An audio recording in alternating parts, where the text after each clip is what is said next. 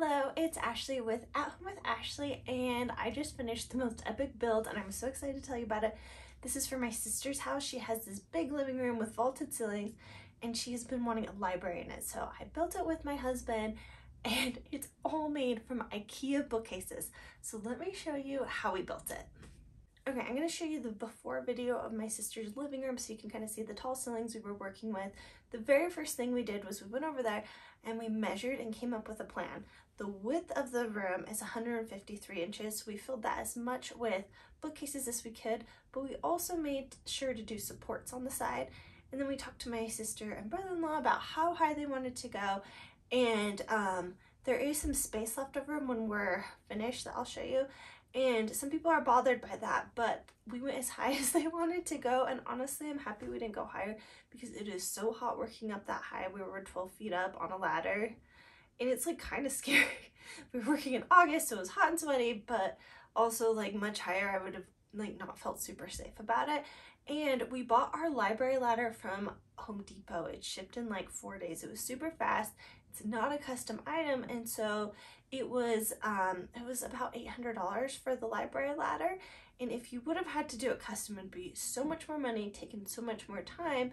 And the height we did was the perfect height for that ladder. So all of those reasons are why we did the height we did. Um, and then we just figured out how many bookcases we could fit in. And then I made a mock-up and I sent it over to her just so she could kind of see like do I like this? And it was just good to kind of get a visual. This is what we're working towards. First up, build one of the bookcases for the bottom section of the bookcase. That way you'll have the correct depth for building the base. Just follow the included instructions from IKEA for putting the Billy bookcase together. The main supplies we used for this project are Billy bookcases. So we used four of the 31.5 inch wide by 79 and a half inch tall. Those went on the bottom and then there was a skinny one we used, same height, 79 and a half inch tall, but then it was the 15.75 inch wide.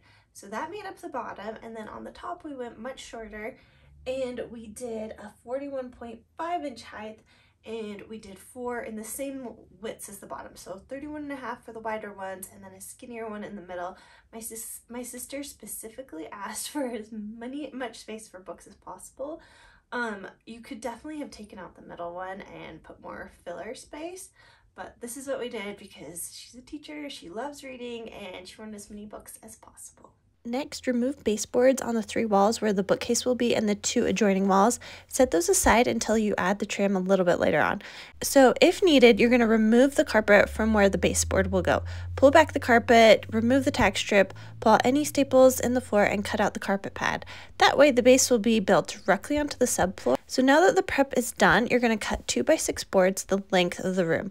Our room is 153 inches wide, so we cut the length of pieces for the front and back and 8 inch long pieces for cross supports.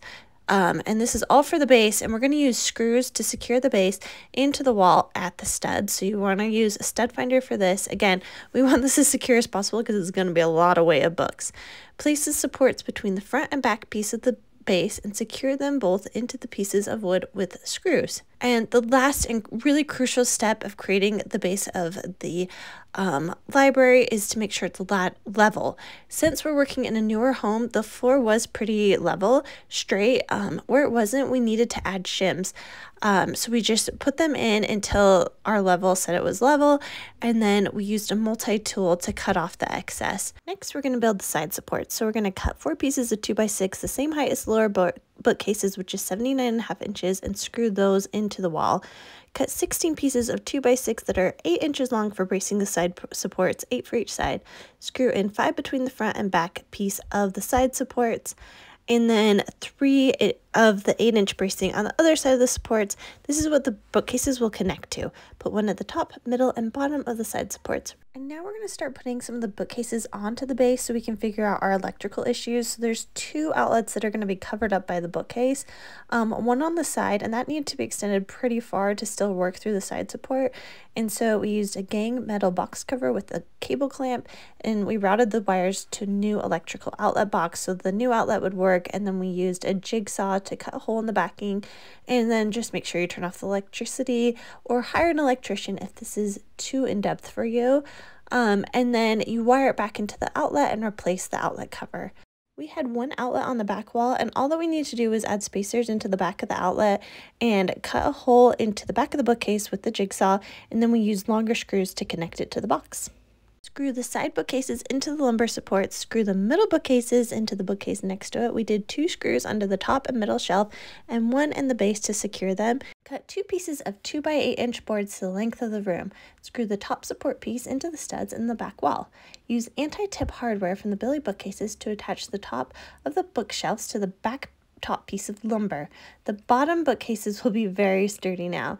And next you're going to cut some pieces, 8 inch pieces for the supports and you're going to screw them in um, to brace that top support piece. If needed, add shims to the middle bookcase. Ours had an extra fourth inch on each side. The shims help it so it sits evenly in the center. Hammer them in until they sit flush with the front of the bookcase. Next, we're going to build the upper side supports, and this is going to be just like building the lower supports, except for it's going to be the height 41 and 3 fourths as those top bookcases. Then we're going to bring the bookcases up, which is very exciting, but also kind of scary up these tall ladders. So at the very top, we add, added more supports. This were made with 2x4s. It probably wasn't necessary, but it did make it more secure. And we also added more of those anti-tip kits just so the top bookcases are totally in. Cut the excess carpet by using a straight edge and a sharp razor, nail in the tack strip, and then push the carpet back down to cover up the old tack strip. And then after that, it was time to move to trim.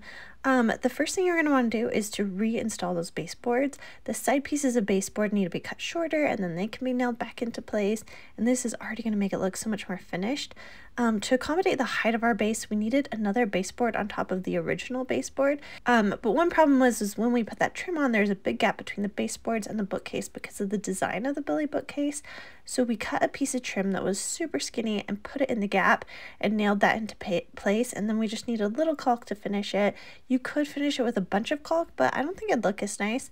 Um, and then we kept going with the trim. So we put more up on the middle ladder support. We use four pieces. It's a really big area that's going to be supporting that ladder.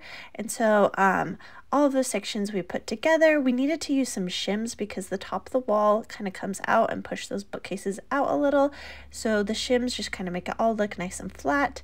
And then once the horizontal center trim was up, we nailed in the trim that went over the lower bookcase seams and we installed the side trim on the lower edges too. Um, when two Ikea bookcases hit each other, you see the seam and it just doesn't look really nice. So this trim is a great finishing touch. Um, so now we did um, the crown molding up top and it's really easy to cut because it's just straight cuts on the end and we nailed it into the bookcase. Last we installed the trim that goes on the seams of the higher bookcases. While my husband put up the trim, I caulked and filled holes with wood filler. Another nice detail we did is we put stickers over the hardware and holes on the top of the bookcases. Um, these shorter bookcases, Ikea puts holes and hardware on the inside below the top shelf because they usually would be on the ground so you wouldn't see them, but when they're upside um, up high, you really see them. They're super obvious. And then we also sanded any uneven trim so it's all flat. Our middle section especially needed sanding because of that um, shimming work we had to do.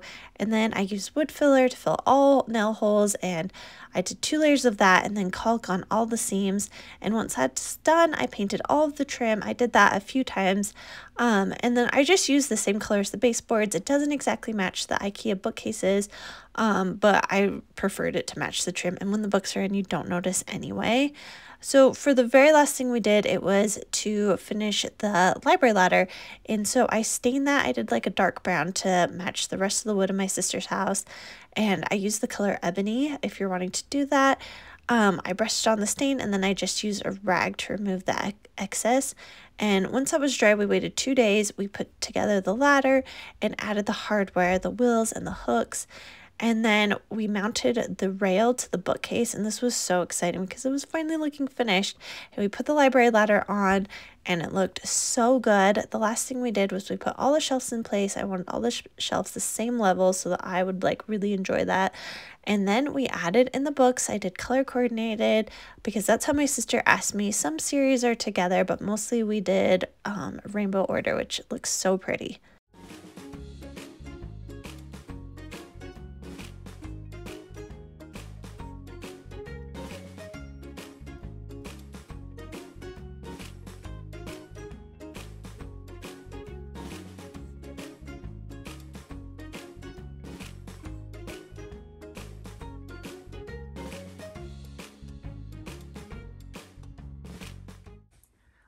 Am going to have everything linked on my blog in case you want to know the exact trim, the exact wood, a cut list um, for the lumber I used.